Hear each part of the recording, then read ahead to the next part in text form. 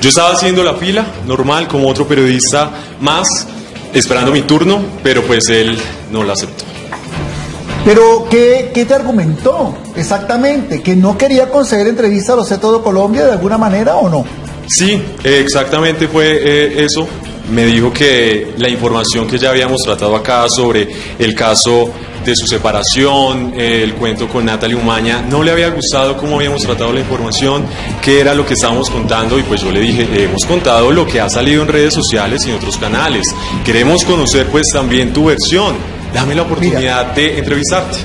Yo, quiero hablarlo porque eh, creo que el rostro en muchas ocasiones que ustedes ven ah, contando las noticias es este que lleva seis años acá en compañía de mis compañeros, en esta ocasión a veces como lo hace Osvaldo, pero la información es la información.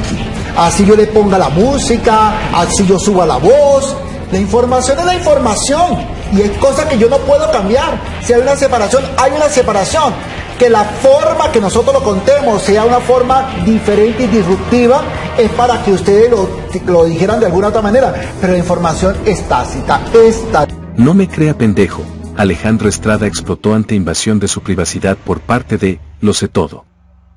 El actor se molestó con un periodista que lo abordó en un evento sin un acuerdo previo, y también por invadir su espacio personal. El programa de chismes Lo sé todo, posteó un video donde Alejandro Estrada explotó, al ser abordado por un periodista de una manera incómoda, aludiendo a la libertad de prensa. También muestran su reacción hasta llegar a pelear con el comunicador.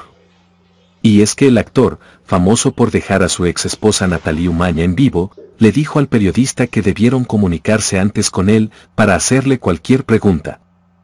No, así no es. Yo ya estoy grande, replicó Alejandro ante la insistencia del periodista, que además lo tenía abrazado del cuello. Este afirmó que salen a decir cualquier cosa, y que dijera a su jefe que no los quería atender. Pero el periodista siguió insistiendo. Esto llevó a que el actor se molestara muchísimo más, hasta el punto de alejarse violentamente del equipo de grabación. No me crea pendejo, le gritó, para decirle que se fuera de su lado, antes de sacudirse y advertir que no le siguieran grabando. Pero, Pero me lo pidieron, de verdad. No, no te demoro, no te demoro, no te demoro. que antes hubieran podido contar conmigo para hacerme cualquier Pero te buscaron, pero te buscaron, no, no, no, no. Se la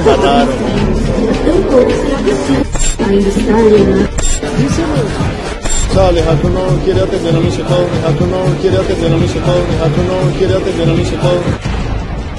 No, weón, así no es, yo también además ya estoy grande. No, no. No me crea pendejo, ¿vale? ¿Qué? No. No me crea pendejo. No, no, no, no. No me crea pendejo. No, Loco, no me crea pendejo. Alejandro. Se me vaya al lado mío. Alejandro. No, Alejandro,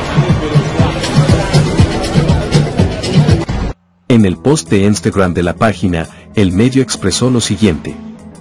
Ponme atención Colombia.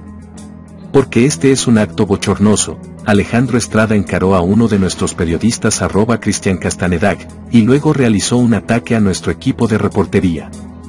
En el canal 1 somos libres como tú, y hacemos un llamado a la libertad de prensa. Televidentes le dicen a, lo sé todo, que acosar no es lo mismo que ejercer periodismo. El actor no pasa por un buen momento, y solidarizados con su situación, los televidentes desafiaron la postura del programa, explicando que la privacidad debe respetarse. Déjenlo tranquilo. Una cosa es la libertad de prensa y otra invadir la privacidad. Si no quiere no quiere fin, pues hay libertad de prensa pero también libertad de espacio, y yo veo que no hace sino abrazarlo, él no está pasando por un buen momento, más respeto son algunos de los comentarios. Esta vez los televidentes se pusieron de parte del actor, que expresó su evidente molestia, al ser abordado por sorpresa cuando quiere poner distancia por lo que pasó, con Natalie Umaña en La Casa de los Famosos Colombia. ¿Y tú qué opinas? ¿Alejandro fue grosero? ¿O los reporteros irrespetuosos? Cuéntanos. Gracias por ver toda la noticia. Suscríbete a nuestro canal, dale like y comparte con tus amigos.